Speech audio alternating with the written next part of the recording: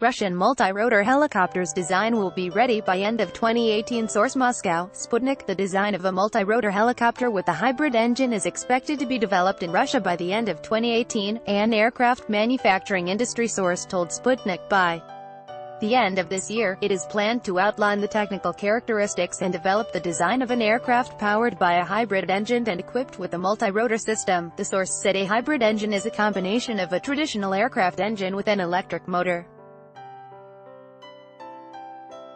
This design decision aims at reducing the takeoff weight, improving the efficiency of all helicopter systems, and increasing the duration and the range of flight.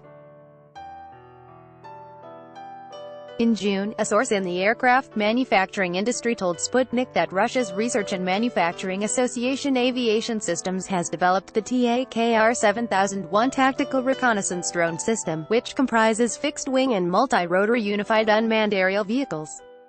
According to the source, the fixed-wing drone, dubbed KO-106, is a high-wing monoplane powered by a single turboprop intractor configuration.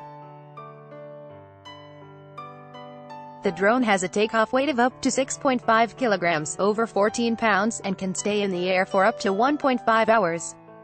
The multi-rotor drone, dubbed KO-107, is a quadcopter with four rotors placed on folding radial beams.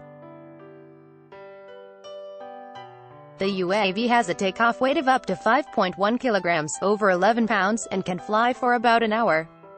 Both drones use a communication system developed by the Aviation Systems Company, which allows ground operators to maintain control over the vehicles at a distance of up to 15 kilometers, over 9 miles.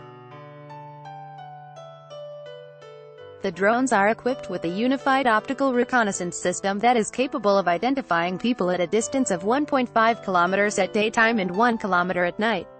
Russia is currently carrying out a large-scale rearmament program, announced in 2010, to achieve a 70% modernization of its military hardware by 2020.